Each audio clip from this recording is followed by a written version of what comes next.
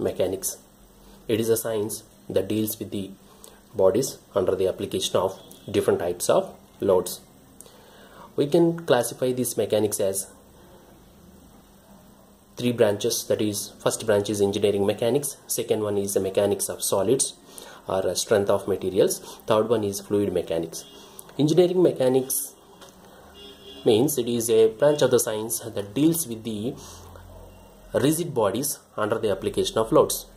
Whereas mechanics of solids is a branch of the science that deals with the deformable bodies under the application of loads. Fluid mechanics is a branch of the science that deals with the fluid elements whether the fluid element is a compressible element or incompressible element. Now the major difference between a rigid body and a deformable body is if the body doesn't undergo any deformation or change in its uh, shape or size under the application of load then such type of bodies are known as rigid bodies.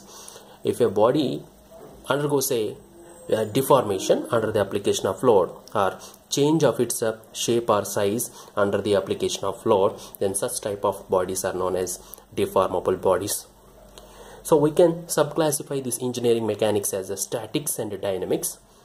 Statics means it is a branch of engineering mechanics that deals with the bodies or rigid bodies under static condition.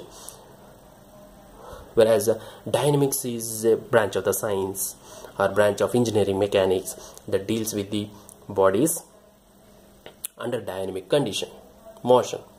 So this dynamics can be subclassified as kinematics and kinetics.